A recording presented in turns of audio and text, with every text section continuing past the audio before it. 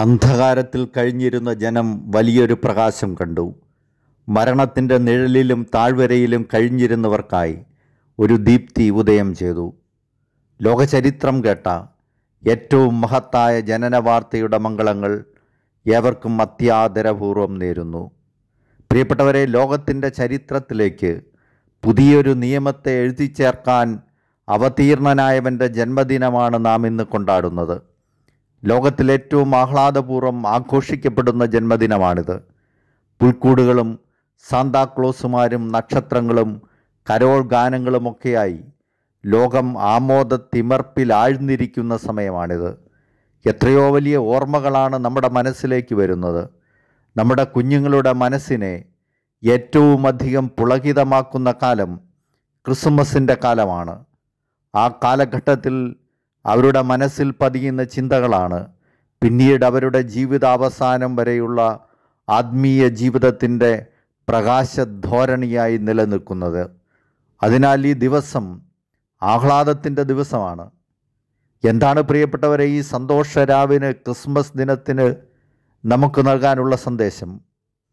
ഇവിടെ മുതൽ ഒരു പുതിയ ചരിത്രം തുടങ്ങുകയാണ്. ഈശോയുടെ ജനനത്തോടെ ഒരു പുതിയ ചരിത്രം ആരംഭിക്കുകയാണ്. അതുവരെയുള്ള എല്ലാ ധാരണകളും മാറ്റപ്പെടുകയാണ്. അന്നുവരെയുണ്ടായിരുന്ന തത്വശാസ്ത്രങ്ങൾ ആത്മീയ വിചാരങ്ങൾ ദൈവസങ്കല്പങ്ങൾ എല്ലാം മാറ്റപ്പെടുകയാണ്.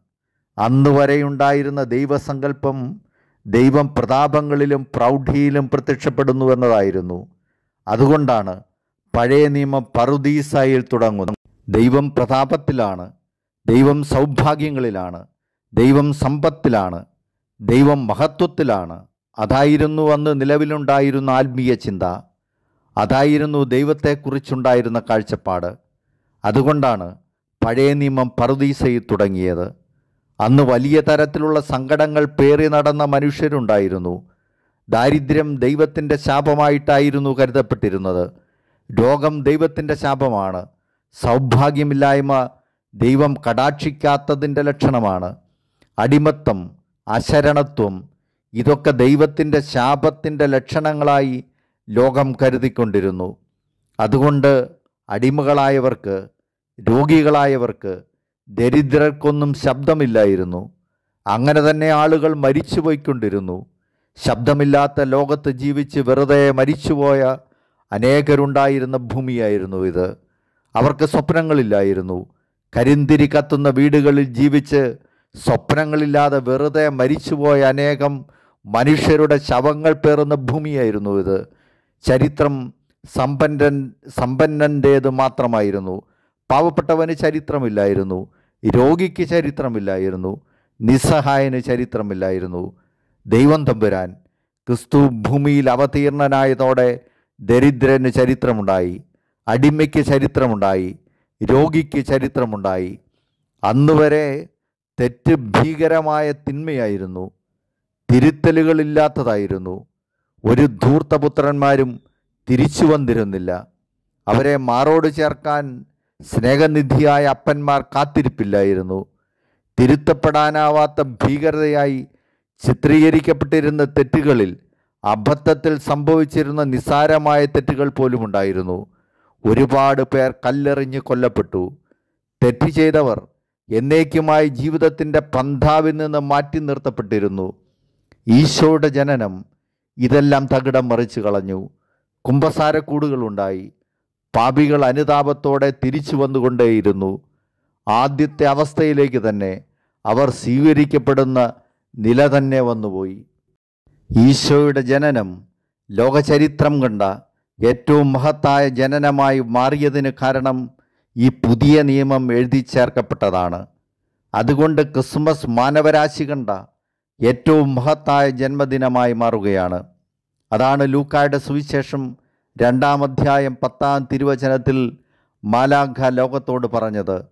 ഇതാ സകല ജനത്തിനും വേണ്ടിയുള്ള വലിയ സന്തോഷത്തിന്റെ സദ്വാർത്ത ഞാൻ നിങ്ങളെ അറിയിക്കുന്നു. ദാവീദിന്റെ പട്ടണത്തിൽ നിങ്ങൾക്കായി ഒരു രക്ഷകൻ കർത്താവായ ക്രിസ്തു ഇന്ന് ജനിച്ചിരിക്കുന്നു. ദൈവം മനുഷ്യനായി ഭൂമിയിൽ ജനിച്ചിരിക്കുന്നു. എന്താണ് അടയാളം? ഒരുപാട് കുഞ്ഞുങ്ങൾ ജനിച്ചിട്ടുണ്ടല്ലോ. അവരിൽ നിന്ന് ദൈവ പൈതലിനെ എങ്ങനെ തിരിച്ചറിയും? മലാഖ പറഞ്ഞു ദൈവത്തെ തിരിച്ചറിയാൻ അടയാളമുണ്ട്. സകല ജനത്തിനും വേണ്ടിയുള്ള വലിയ സന്തോഷത്തിന്റെ സദ്വാർത്തയെ തിരിച്ചറിയാൻ ദൈവം തന്ന അടയാളം ദൈവം തന്നെ അടയാളം നൽകിയിരിക്കുന്നു. ലൂക്കായുടെ സുവിശേഷം രണ്ടാം അധ്യായം പന്ത്രണ്ടാം തിരുവചനം അത് പറയുന്നു ഇതായിരിക്കും നിങ്ങൾക്കുള്ള അടയാളം.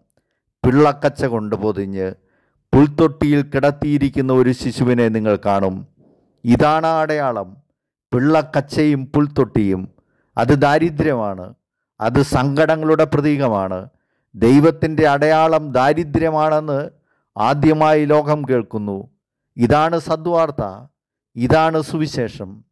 മാലാഖ പറയുകയാണ് ദരിദ്രരെ ഇനി മുതൽ നിങ്ങൾ ദൈവത്തിന് പ്രിയപ്പെട്ടവരാണ്. ഇതാ ദൈവം നിങ്ങളിൽ ഒരാളായിരിക്കുന്നു. ഇതാ ദൈവം ഇമ്മാനുവേലായിരിക്കുന്നു. ദൈവം നിങ്ങളോടുകൂടെ. നിങ്ങളുടെ ദാരിദ്ര്യം ദൈവത്തിന് പ്രിയപ്പെട്ടതാണ്. ഇതാ ദൈവം നിങ്ങളുടെ പക്ഷം ചേർന്നു നിൽക്കാൻ വരുന്നു. ഇതാണ് മഹത്തായ സദ്വാർത്ഥർ ഒരുപാട് നിസ്സഹായർ ഒരുപാട് പ്രത്യാശയറ്റവർ ജീവിതത്തിന്റെ സായാഹ്നങ്ങളിൽ നിന്ന് ഉയർത്തെഴുന്നേറ്റ് വന്നതിന്റെ ചരിത്രമാണ് ക്രിസ്തുമസിന്റെ ചരിത്രം. അത് ക്രൈസ്തവ സഭയുടെ എക്കാലത്തെയും വലിയ ചരിത്രമായി മാറുന്നു. ലോകം മാനസാന്തരപ്പെടുന്നതിന്റെ ചരിത്രമായി മാറുന്നു. ഗീതാഞ്ജലിയിൽ ഭാരതത്തിന്റെ മഹാനായ കവി രവീന്ദ്രനാഥ നാഥ ടാഗോർ എഴുതി വയ്ക്കുന്നത് ഇതേ സന്ദേശമാണ്. കരിനില മുഴുമ കർഷകരോടും വർഷം മുഴുവൻ പെരിയ കരിങ്കൽ പാറ നുറുക്കി നുറുക്കി ഒരുക്കും പണിയാളരോടും ചേർന്നമരുന്നു ദൈവം മണ്ണാർ നിരുകൈകളിലും. ഈ വലിയ സന്ദേശം മാലാഖാൻ ലോകത്തിന് നൽകിയ ദിവസമാണ് ക്രിസ്തുമസ്. ദൈവം യേശുവാണെന്ന് ഈശോയാണെന്ന് ജീസസ് ആണെന്ന് ക്രിസ്തുവാണെന്ന് ലോകമറിഞ്ഞ ദിവസമാണ് ക്രിസ്മസ് ജീസസ് എന്ന പേര് അത് വലിയ പ്രതീക്ഷയുടെ പേരാണ്. മനുഷ്യപ്പറ്റിന്റെ പേരാണ് ജീസസ്. സമാനതകളില്ലാത്ത താരതമ്യത്തിന് അതീതമായ മാനവികതയുടെ പേരാണ് ജീസസ്. ക്ഷമയുടെ പേരാണത്. സ്നേഹത്തിന്റെ പേരാണത്. ത്യാഗത്തിന്റെ പേരാണത്. വിട്ടുവീഴ്ചയില്ലാത്ത നന്മയുടെ പേരാണ് ജീസസ്. യേശുവെന്ന പേരിടണമെന്നാണല്ലോ മാലാഖ പറഞ്ഞത്. ഇതിലപ്പുറം ഒരു പേരില്ല. ഇതിനേക്കാൾ മഹത്തായ ഒരു പേര് കണ്ടെത്താൻ മനുഷ്യരാശിയുടെ അവസാനത്തോളം മനുഷ്യന് കഴിയില്ല. ഉച്ചനീചത്വങ്ങളില്ലാത്ത വർണവിവേചനങ്ങളില്ലാത്ത ലിംഗഭേദങ്ങളില്ലാത്ത മനുഷ്യമഹത്വത്തെ ഉച്ചസ്ഥായിയിൽ പ്രതിഷ്ഠിക്കുന്ന പേരാണ് ജീസസ്. അവരെ ക്രിസ്മസ് മനുഷ്യപ്പറ്റിന്റെ മഹാഗാഥ പാടുന്ന ദിവസമാണ്. മനുഷ്യന്റെ മഹത്വം പ്രഘോഷിക്കുന്ന ദിവസമാണത്. വേർതിരിവുകളുടെ സകല മതിലുകളെയും തകർത്തു കളഞ്ഞ ദിവസമാണത്. മാനവരാശിയുടെ ഏറ്റവും വലിയ ആഹ്ലാദത്തിന്റെ ഈ ദിവസത്തിൽ മിശിഹായിലൂടെ ക്രൈസ്തവ ചരിത്രം ലോകത്ത് വരുത്തിയ അനിർവചനീയമായ മാറ്റങ്ങളെ ഓർക്കാം. ദരിദ്രനെയും പാപിയെയും രോഗിയെയും വിളിപ്പാടകല നിർത്താതെ നെഞ്ചോട് ചേർത്ത് പിടിക്കാം. പുൽക്കൂട്ടിലെ ഉണ്ണി സ്വർഗത്തിന്റെ സമാധാനം നിങ്ങളുടെ മനസ്സുകളിൽ വിതറട്ടെ.